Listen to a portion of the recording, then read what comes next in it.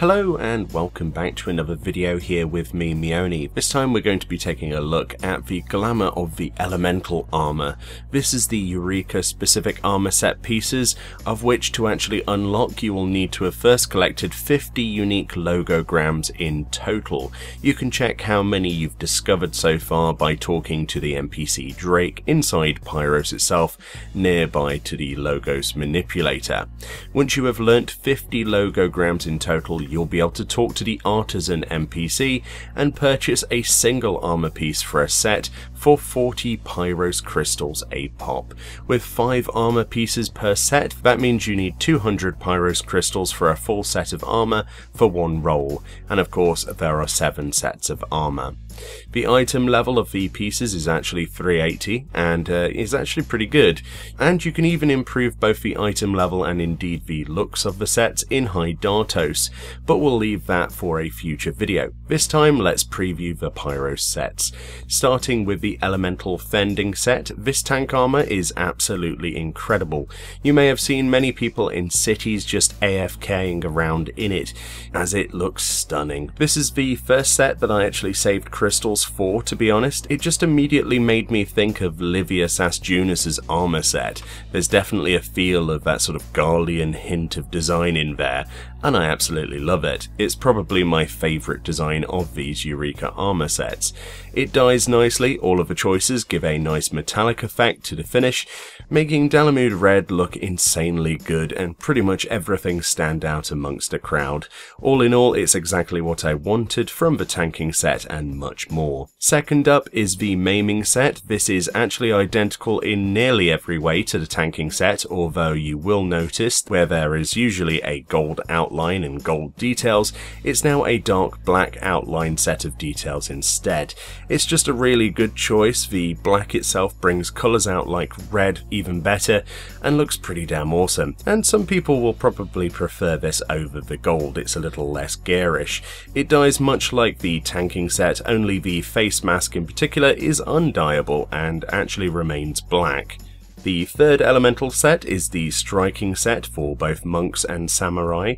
This set has a feathered hat, some interesting boots, and a large shoulder spike.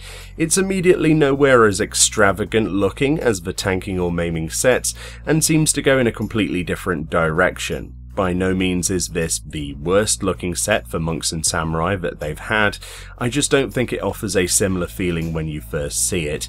I like the boots, the hat could be useful in glamour for other sets, but I'm not a fan of the red sash, and generally it's a little bit disappointing. The dyes though offer plenty of good options, but this red sash is completely undyable, which is a shame.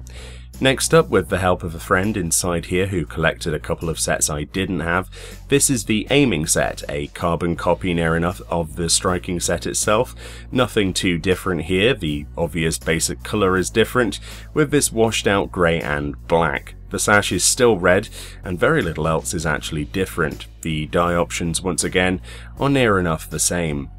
Fifth set along is the scouting set, again keeping much of the detail of both the aiming and striking sets in the same design, but this time ditching the hat in preference of a small circlet, and the sash is now a horrible yellow-brown colour. The dye options are generally the same here, I, I just don't know. I just feel that these three sets here are way too close together in style, and, and there's A, not enough that differentiates them in particular, and B, that the style is fairly unimaginative in comparison to the tanking and maiming sets. It's my opinion, and you'll probably love these sets yourself, but I just feel overall that less quality has been put into their design overall. Sixth up is the healer set. This is actually pretty decent. I had to get people to help me out again with the ones I haven't collected, because I'm a huge slacker, I know, but this set in particular is at least quite different. Yes, it's another long robe, and I know a lot of the people in the community hate long robes on healer sets, but the detail on it jumps out at you. Its gold outlines and gold cuffs are very regal looking, making you clearly the king or queen of healing when you wear it. It comes with that circlet from the other sets, but thankfully the rest seems to be quite different. It looks really quite nice in rich colours, Dalamud red again looking absolutely awesome. Almost sort of velvety, short of a crown instead of this circlet, I'm fairly happy with this design. And lastly, Gear Set 7 is the casting set, modelled by this helpful Catboy here. Following the healing set, this is basically a direct recolor but has a decent array of base colours applied.